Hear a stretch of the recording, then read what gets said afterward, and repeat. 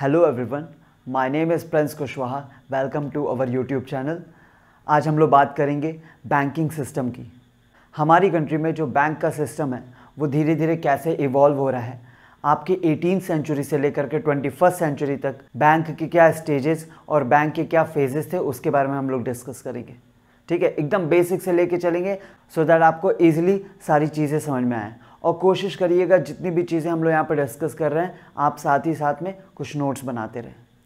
बहुत सारे हम लोग ईयर्स के बारे में भी जानेंगे कि कौन सा बैंक कब आया वगैरह वगैरह, ठीक है? इसके बारे में भी चीज़ें हम लोग देखेंगे। तो आपको क्या करना है?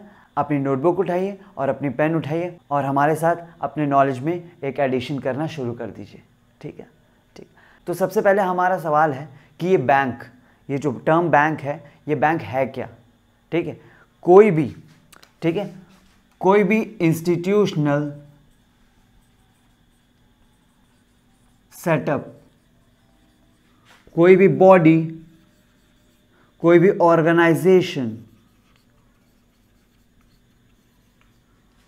कोई भी इंस्टीट्यूशनल सेटअप कोई भी बॉडी कोई भी ऑर्गेनाइजेशन कोई भी एंटरप्राइज वगैरह, अगर वो दो काम करती है, अब वो दो काम कौन से हैं? पहला है आपका एक्सेप्टिंग डिपॉजिट ठीक? और दूसरा है आपका एडवांसिंग लोन्स कोई भी इंस्टीट्यूशनल सेटअप या फिर बॉडी या फिर ऑर्गेनाइजेशन अगर ये दो फ़ंक्शन परफॉर्म करती है, यानी कि आपका accepting deposit and advancing loans तो उसको हम लोग बोल सकते हैं कि वो एक बैंक है। ठीक है? इससे आपको ये पता चल गया कि ये जो दो हमने पॉइंट्स लिखे थे, आपके एडवांसिंग लोन्स के, ठीक है? Advancing loans and accepting deposit ठीक है? ये क्या है आपके? ये है आपके प्राइमरी फ़ंक्शंस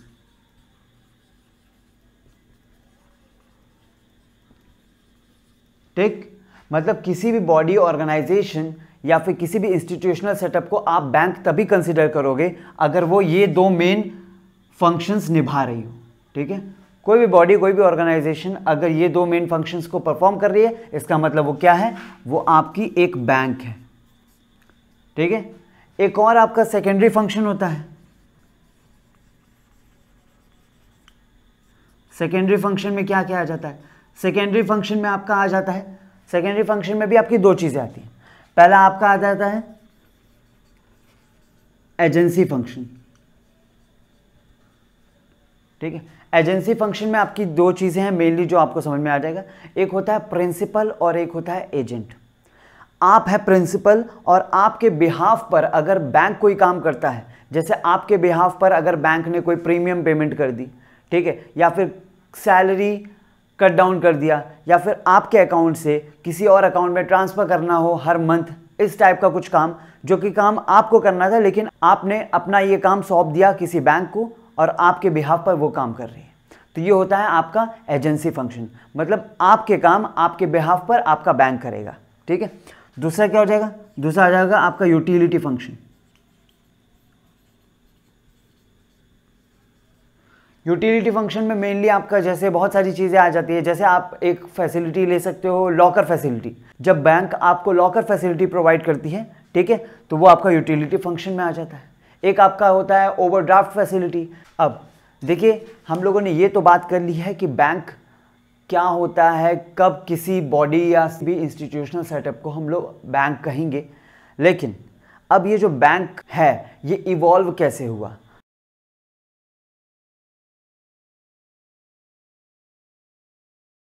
सेवनटीन सेवेंटी में हमारा पहला बैंक आया था। Bank of Hindustan.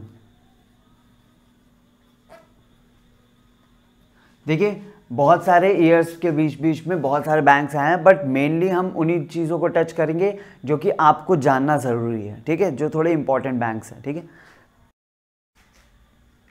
अब 1770 में बैंक ऑफ़ हिंदुस्तान आया था। ये हमारे इंडिया का सबसे पहला बैंक है, ठीक है? अब, जैसे कि आप लोग सब लोग जानते ही होंगे, ठीक है? एक हमारा होता है पब्लिक सेक्टर और एक होता है private sector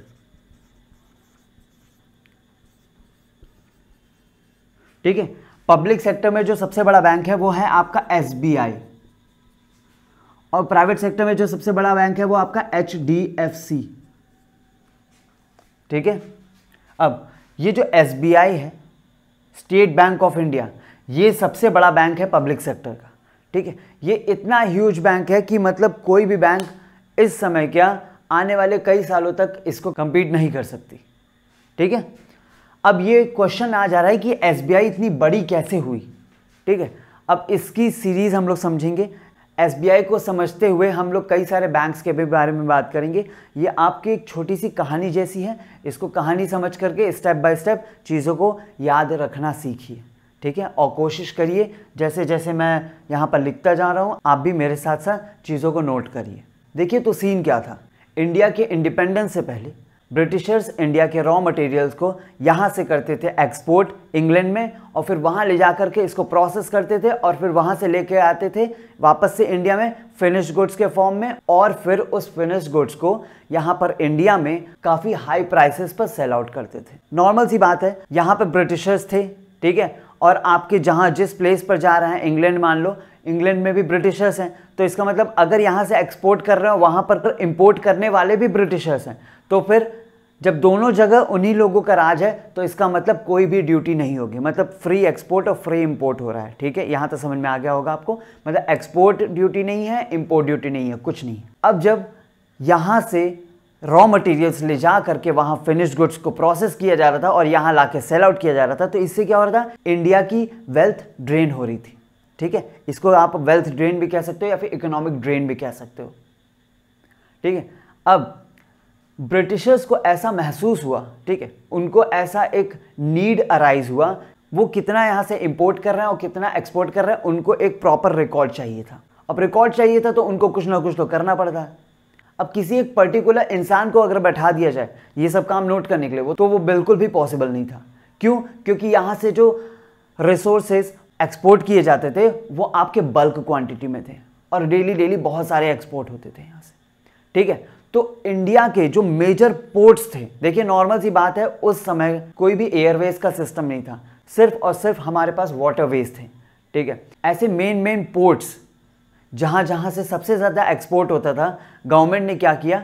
sorry British government ने क्या किया? वहाँ पर बैंक ओपन कर दिया। पहले तो ये देख लेते हैं कौन कौन से मेन पोर्ट्स थे, ठीक है? सबसे पहले आपका जो मेन पोर्ट था, वो था बॉम्बे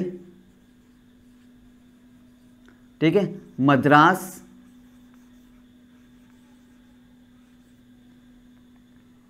बंगाल।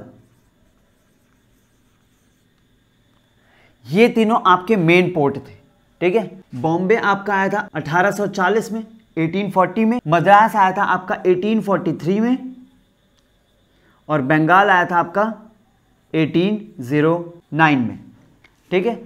तो उस समय सबसे ज़्यादा एक्सपोर्ट और इंपोर्ट किया जा रहा था कहाँ कहाँ से? बॉम्बे से, मद्रास से और बंगाल से। अब ब्रिटिश गवर्नमेंट को जब सारा इंफॉर्मेशन कलेक्ट करना था तो उनको क्या करना पड़ा? इन मेजर पोर्ट्स के पास ही उनको एक बैंक ओपन करना पड़ा। बैंक का सेटअप करना पड़ा, ठीक है? तो उन्होंने बैंक का सेटअप जब किया तो उन्होंने क्या नाम रख दिया? Bank of Bombay Bank of Madras Bank of Bengal ठीक है? इसका मतलब बैंक ऑफ़ बॉम्बे जो कि 1840 में आया था, ठीक है? फिर उसके बाद सेटअप किया गया आपका क्या? फिर सेटअप किया गया आपका। 1843 में बैंक ऑफ़ मद्रास और उसके बाद फिर आपका। यानी कि आपका सबसे पहले आपका सेटअप किया गया बैंक ऑफ़ बंगाल 1809 में। फिर उसके बाद आपका सेटअप हुआ बैंक ऑफ़ बॉम्बे जैसे जैसे नीड अराइज होती जा रही थी, ज़्यादा आपका ट्रांजैक्शन बढ़ रहा था वैसे वैसे बैंक सेटअप किए जा रहे थे, ठीक है? 1840 में आपका बैंक ऑफ़ बॉम्बे आया, फिर 43 में आपका मद्रास आया, ठीक है? अब सीन क्या था? ये तीनों काम अपना बहुत अच्छे से कर रहे थे, ठीक है? और क्या है सीन ये जो बैंक ऑफ़ बॉम्बे है बैंक ऑफ़ मद्रास है बैंक ऑफ़ बंगाल है, ये तीनों क्या है? आपके कमर्शियल नेचर के हैं, ठीक है? कमर्शियल बैंक ठीक है? ये याद रखिएगा, ये आपके कमर्शियल बैंक्स हैं।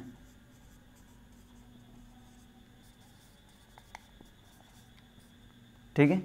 अब, ये तीनों जब सेटअप हो रहे थे, फिर उसके बाद भी कई सारे बैंक सेटअप हुए पीएनबी हुई इलाहाबाद हुई, बहुत सारे बहुत सारे बैंक सेटअप हुए कई सारे बैंक्स सेटअप होने के बाद फिर सही से परफॉर्म नहीं कर सके तो वो लिक्विडेट भी हो चुके थे। ठीक है? कई सारे बैंक्स हुए।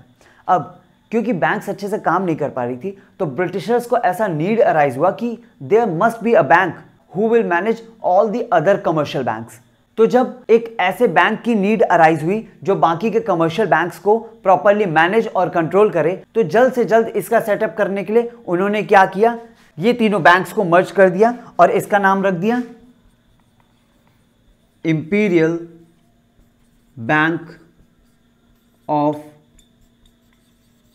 India Imperial Bank of India और ये कब आया आपका? 1921 ध्यान से समझिएगा, ये तीनों बैंक्स हैं, ठीक है? इन तीनों को मर्ज करके आपका इंपीरियल बैंक ऑफ़ इंडिया बना दिया गया 1921 में, ठीक है?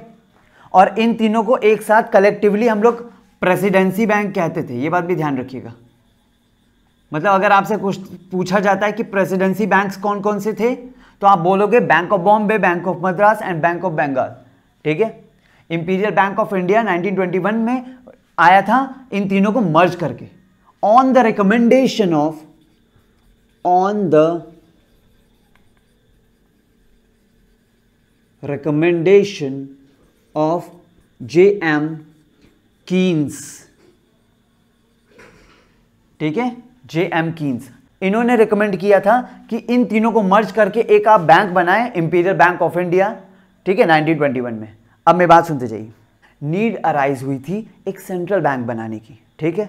जो कि बाकी कमर्शियल बैंक्स को क्या करे? प्रॉपरली मैनेज और कंट्रोल करे. But they don't have that much enough time to make a new central bank तो उन्होंने क्या किया? ये जो इंपीरियल बैंक ऑफ़ इंडिया बनाया है इसी को बोल दिया, आप हो एक क्वासी सेंट्रल बैंक। अब क्वासी सेंट्रल बैंक क्या होता है? क्वासी सेंट्रल बैंक ये होता है मतलब जो बैंक, सेंट्रल बैंक होती नहीं है बट सेंट्रल बैंक होने की भूमिका निभाती है। ठीक है? फॉर एग्ज़ाम्पल अगर आपके क्लास में एक मॉनिटर है, ठीक है? वो आज एबसेंट है और आपकी मैम ने उसके जगह आपको बना दिया मॉनिटर उस दिन के लिए। तो क्या ये बताइए क्या आप सारे समय के लिए मॉनिटर आप हो गए? जी नहीं। मॉनिटर अभी भी वही पुराना वाला ही है, ठीक है? यहाँ पर बस आपको उसकी पावर्स मिल गई हैं, ठीक है? तो यहाँ पर भी क्या हुआ? जो जो इंपीरियल बैंक ऑफ़ इंडिया है, इसको हम लोग हमने, इसको हमने प्रोवाइड कर दिया सेंट्रल बैंक्स की कुछ पावर्स ठीक है? अब नॉर्मल सी बात है, ये जो इंपीरियल बैंक ऑफ़ इंडिया बना, ये मर्ज होके बना था किससे? Bank of Bombay Bank of Madras Bank of Bengal जो कि क्या थे? कमर्शियल नेचर के थे। मतलब ऐसे बैंक्स जो कि प्रॉफिट मोटिव होते हैं, ठीक है? अब इन तीनों को मर्ज करके जब इंपीरियल बैंक ऑफ़ इंडिया बना, इसका मतलब साफ़ साफ़ ये भी है कि ये भी कमर्शियल नेचर का होगा, यानी कि कमर्शियल बैंक होगा। अब एक कमर्शियल बैंक को आप सेंट्रल बैंक बना दे रहे हो, इसका मतलब आप उसको फुल पावर दे दे रहे हो, ठीक है? अब चीज़ें कुछ ऐसे खराब हुई। ब्रिटिश गवर्नमेंट को दिखने लगा कि ये जो इंपीरियल बैंक ऑफ़ इंडिया है, ये एक कमर्शियल बैंक है और ये अपनी इस पावर्स को, जो कि हम लोग क्वासी सेंट्रल बैंक बना करके इसको दिए थे, ये इसका अब गलत फ़ायदा उठा रहा है। ठीक है? ये ट्राई कर रहा है, ये एक्सप्लॉयट कर रहा है बाकी बैंक्स को और ऐसे पॉलिसीज़ रूल्स रेगुलेशंस बना रहा है जिससे कि उसके ही फ़ायदे हो। ठीक है? अब, जब ये सब सीन हुआ तो फिर उसके बाद आपका एक हिल्टन यंग कमीशन बैठाया गया। ठीक है? एक हिल्टन यंग कमीशन बैठाई गई अराउंड आपके 1928 में, ठीक है?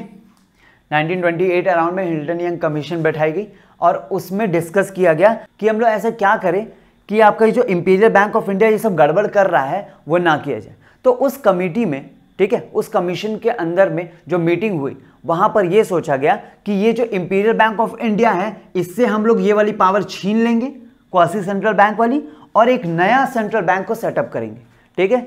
और फिर उसका रिज़ल्ट क्या था? वो आपको साफ़ साफ़ पता है। सेंट्रल बैंक हमारे कंट्री का जो है, वो है आरबीआई यानी कि रिज़र्व बैंक ऑफ़ इंडिया ठीक है?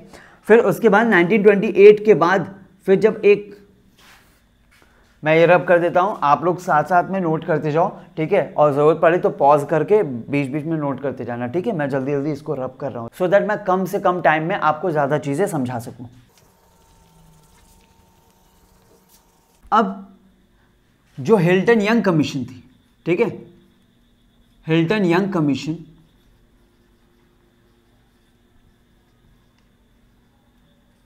इसको सेटअप जब किया गया था, फिर उसके बाद जो मीटिंग हुई थी, उसके कुछ रिजल्ट्स निकले थे, ठीक है? पहला जो रिज़ल्ट निकला, ये आरबीआई एक्ट का रिज़ल्ट निकला।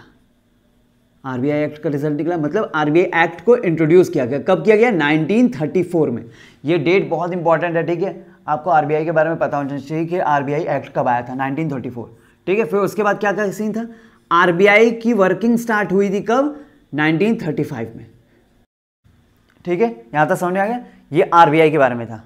अभी वो आप अभी थोड़ा सा साइड कर दीजिए कि इंपीरियल बैंक ऑफ़ इंडिया था जिससे आपकी क्वासी सेंट्रल बैंक की पावर्स छीन ली गई थी। अभी इसके बारे में बात करेंगे, परेशान ना हो।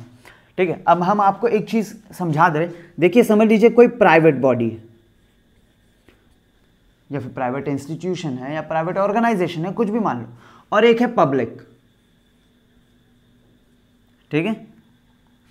क्या है? एक है प्राइवेट और एक है पब्लिक ठीक है? और यहाँ बीच में डाल दे रहे ओनरशिप ठीक? प्राइवेट से। ठीक है? किसी private body private organisation private institutional setup या फिर जो भी। अगर उसका ओनरशिप ट्रांसफ़र किया जाता है पब्लिक को, ठीक है? मतलब प्राइवेट से ओनरशिप अगर जा रही है पब्लिक को तो उसको हम लोग बोलते हैं नेशनलाइजेशन ठीक है? और अगर पब्लिक से प्राइवेट के पास जा रही है तो इसको हम लोग क्या बोलते हैं? इसको हम लोग बोलते हैं प्राइवेटाइजेशन ठीक है? इसको ऐसे बॉक्स में करके रख लीजिएगा, क्योंकि ये अभी आपके बहुत यूज़ आने वाला है, ठीक है? बहुत ही ज़्यादा इंपॉर्टेंट भी है। नेशनलाइजेशन मतलब आप समझ रहे हैं ना? क्योंकि इसी बारे में भी पढ़ने वाले हैं। जब प्राइवेट बॉडी या प्राइवेट ऑर्गेनाइजेशनल सेटअप को हम लोग पब्लिक के, के पास ओनरशिप ट्रांसफ़र कर देते हैं ठीक है? The transfer of ownership from private to public यहाँ पर पब्लिक का जो मतलब है वो है आपका गवर्नमेंट से ठीक है? अब ये जो आरबीआई जब बना था ठीक है तो वो नॉर्मली प्राइवेट नेचर का था। तो क्या किया गया? देखो नेशनलाइजेशन नॉर्मली इसलिए किया जाता है सो so दैट आपके जो सिटीजन्स हैं उनका आप फेथ बढ़ा सकते हैं ठीक है? उनका भरोसा आप जीत सकते हैं। नॉर्मल सी बात है, आप खुद अपने आप से सोचना। अभी मैं आपको एक सिचुएशन देता हूँ, ठीक है? आपके पास दो ऑप्शन है, ठीक है? कंपनी ए और कंपनी बी ठीक है? कंपनी ए जो कंपनी है, वो गवर्नमेंट कंपनी है और कंपनी बी आपकी प्राइवेट कंपनी है, ठीक है? अगर आपको इन्वेस्टमेंट का अपॉर्चुनिटी मिले तो आप किसमें इन्वेस्ट करना चाहोगे? नॉर्मल सी बात है, आप लोग गवर्नमेंट कंपनी के लिए ही ऑप्शन चूज़ कर रहे होगे। क्योंकि गवर्नमेंट कंपनी में जब हम लोग इन्वेस्ट करते हैं तो वहाँ पर हमारे जो पैसे होते हैं, उसकी सेफ्टी और लिक्विडिटी दोनों ही बनी रहती है। लेकिन जो आपकी प्राइवेट फर्म्स होती हैं प्राइवेट इंडिविजुअल कंपनी होती हैं, वो आपकी बिल्कुल भी भरोसे लायक नहीं होती। जनरली वही वाला हाल होता है आपका, फिर हेरा फेरी वाला, पच्चीस दिन में पैसा डबल और फिर उसके बाद गायब। ठीक है? तो इसलिए नेशनलाइजेशन करना पड़ा। किसका? आरबीआई का। कब किया गया?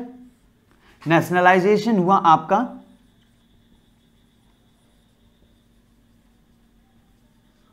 नाइनटीन फोर्टी नाइन में। ठीक है? देश के आज़ाद होने के जस्ट बाद आपका नेशनलाइजेशन कर दिया गया किसका? आरबीआई का। ठीक है?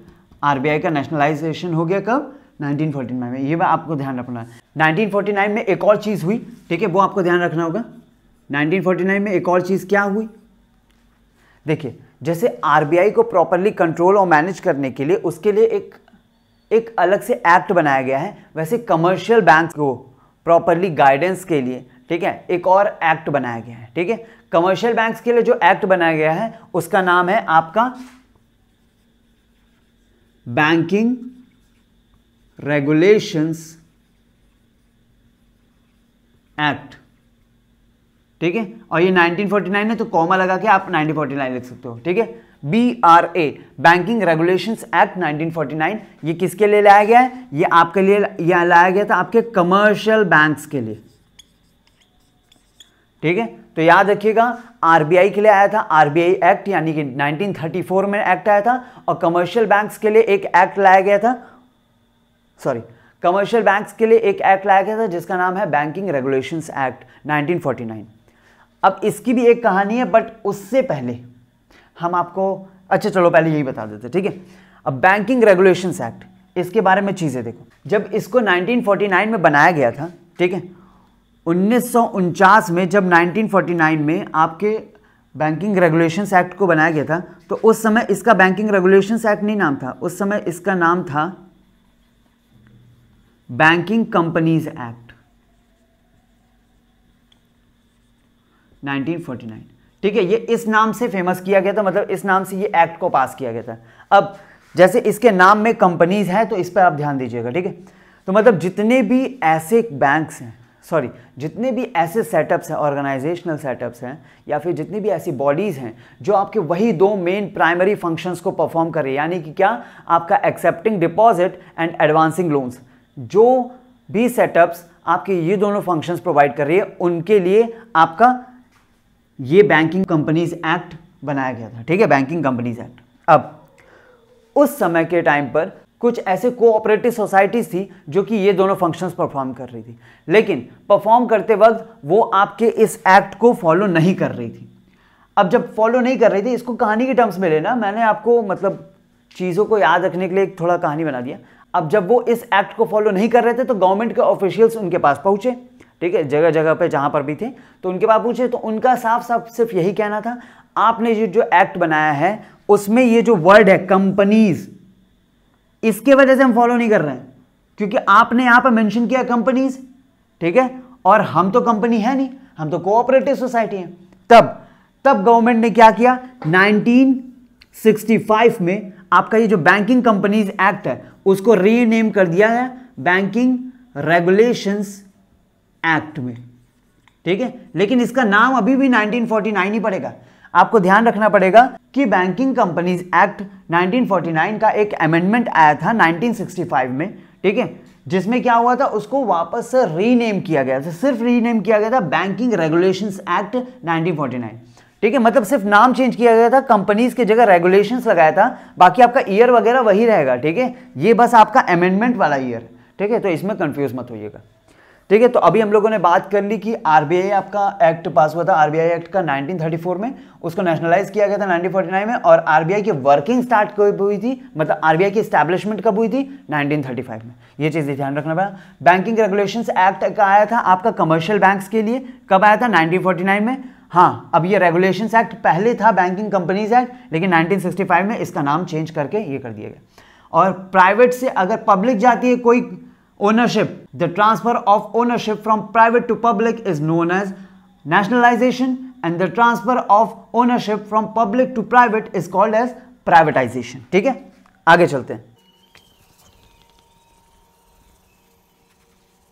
तो फिर हम लोग बात कर रहे थे आपको याद होगा अभी इंपीरियल बैंक ऑफ़ इंडिया के बारे में हम लोगों ने कुछ बात की थी इंपीरियल बैंक ऑफ़ इंडिया डिया ओके। ठीक है, इसके बारे में हमने बात की थी। इसको प्रोवाइड की गई थी क्या? सेंट्रल बैंक्स की कुछ पावर जिसकी वजह से हम लोग इसको बोलते हैं क्या? क्वासी सेंट्रल बैंक मतलब ये सेंट्रल बैंक की भूमिका निभाएगी, लेकिन ये सेंट्रल बैंक होगी नहीं। ठीक है, ये बात आपको ध्यान रखना पड़ेगा। अब क्या सीन है? इंपीरियल बैंक ऑफ़ इंडिया जब इस पावर्स का ठीक है, जब कौन सी सेंट्रल बैंक उसको बना दिया गया तो इस पावर का वो मिसयूज करने लगी। और मिसयूज करने लगी तो फिर ब्रिटिशर्स ने क्या किया? इससे इसकी पावर ये वाली छीन ली। ठीक है? बोल दिया कि, बेटा, आप सेंट्रल बैंक बनने के लायक ही नहीं हो, आपकी औकात सिर्फ़ कमर्शियल नेचर की ही है, आप वही काम करो। ठीक है? तो इंपीरियल बैंक ऑफ़ इंडिया फिर कैसे कंटिन्यू कर दिया? एज कमर्शियल बैंक अपना काम करना कंटिन्यू कर दिया। ठीक है? जब वो कमर्शियल बैंक की तरह अपना काम कर रहा था, ठीक है, काम अच्छा भी कर रहा था मतलब जो उसका काम था वो करने में वो एक्सपर्ट था हाँ मतलब सेंट्रल बैंक बनने के लायक नहीं था, ठीक। अब, जैसा कि आपको पता है नेशनलाइजेशन के बारे में हम लोगों ने देखा था, ठीक है, क्या? The transfer of ownership from private to public is called as nationalisation अब, लोगों का फेथ तो बढ़ाना ही था तो धीरे धीरे क्या किया गया? देखो ध्यान रखना, पूरे इंडिया में जो पहला बैंक जो कि नेशनलाइज किया गया था, वो था आपका आरबीआई यानी कि रिज़र्व बैंक ऑफ़ इंडिया ठीक है? फिर उसके बाद आपका नेशनलाइज किया गया 1955 में किसको? इंपीरियल बैंक ऑफ़ इंडिया को। इंपीरियल बैंक ऑफ़ इंडिया को नेशनलाइज किया गया था आपके 1955 में। ठीक है? नॉर्मल सी बात है। देखो, ध्यान से सुनना। जब आप छोटे थे, ठीक है? जब आप स्कूल भी ज्वाइन नहीं किए थे तो उस समय आपके पेरेंट्स आपको अलग अलग नामों से बुलाते होंगे। छोटू, बिट्टू, मिंटू, चिंटू, बेबी, बाबू सोना इन नामों से तो शायद आप लोग को अभी भी बुलाया जा रहा होगा। इसको छोड़ो। मतलब इस नामों से आपको बुलाते थे जब आप ज्वाइन भी नहीं किए थे, ठीक है? तो जब आपने स्कूल ज्वाइन किया तो फिर आपका एक ऑफिशियल नेम रखा गया, ठीक है? मतलब आपने क्या किया? अपना एक लेवल अप कर दिया, ठीक है? वैसे ही यहाँ पर भी जब इंपीरियल बैंक ऑफ़ इंडिया को नेशनलाइज किया गया तो इसका भी रीनेम किया गया। इसको रीनेम करके बनाया क्या गया? SBI State Bank of India ठीक है? अब आप खुद सोचो, ऐसा बैंक जो कि ऑलरेडी तीन बैंक्स को मर्ज करके बना है। अब आप पूछोगे, कैसे सर? अरे, ये जो इंपीरियल बैंक ऑफ़ इंडिया था, ठीक है, ये आपके मर्ज करके बना था ना? आप पिछले अपने नोट्स देख लो, उसमें था ना तीन bank Bank of Bombay Bank of Madras Bank of Bengal इन तीनों को मर्ज करके आपका इंपीरियल बैंक ऑफ़ इंडिया बना था। और इसी का तो नाम हम लोग रीनेम कर दिया। आप क्या नाम रखा हम लोगों ने? एसबीआई यानी कि स्टेट बैंक ऑफ़ इंडिया ठीक है? ध्यान रखिएगा स्टेट बैंक ऑफ़ इंडिया अब खुद सोचो, मान लो एक बैंक है आपका पीएनबी ठीक है? एक इंडिविजुअल बैंक है। और दूसरे साइड है आपका एसबीआई जो ऑलरेडी तीन बैंक्स को मर्ज करके बना है। ठीक है? तो नॉर्मल सी बात है, आपका एसबीआई बड़ा होगा। अब SBI बड़ा तो था, अब कई सारी छोटी ऐसे बैंक्स जो कि प्रॉपरली काम नहीं कर पा रही थी, वो भी धीरे धीरे किसमें मर्ज होती जा रही थी? SBI में। ठीक है? इस समय अराउंड 16 प्लस बैंक्स आपके SBI में मर्ज हो चुके हैं। ठीक है? तो अगर बैंकिंग सेक्टर के बारे में बात किया जाता है कि पब्लिक सेक्टर में, ठीक है? पब्लिक सेक्टर में कौन कौन से बैंक्स काम कर रहे हैं? तो एक, देखो, दो कैटेगरी में नाम लिया जाता है। पहला लिया जाता है एसबीआई का और दूसरा लिया जाता है नेशनलाइज्ड बैंक का। मतलब जितने भी बैंक्स नेशनलाइज्ड हैं, यानी कि गवर्नमेंट के कंट्रोल में है। आप इसी से अंदाज़ा लगा सकते हैं कि एसबीआई कितना बड़ा बैंक है कि एसबीआई को अलग से काउंट किया जा रहा है। और बाकी की जो नेशनलाइज्ड बैंक हैं, उसको कलेक्टिवली काउंट किया जा रहा है। ठीक है?